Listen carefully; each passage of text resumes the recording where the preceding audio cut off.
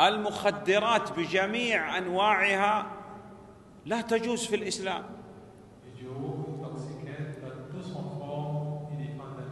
لابد أن نحافظ على العقل الذي هو نعمة من نعم الله سبحانه وتعالى علينا.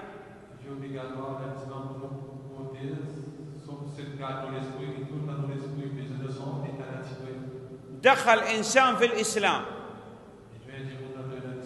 وهو ما زال يتعاطى المخدرات مثلا.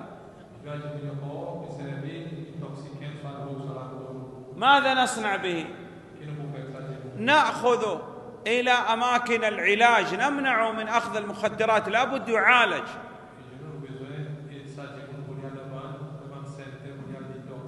يا أخواننا الإنسان الآن إذا دخل في الإسلام لا نتركه لابد يعلم.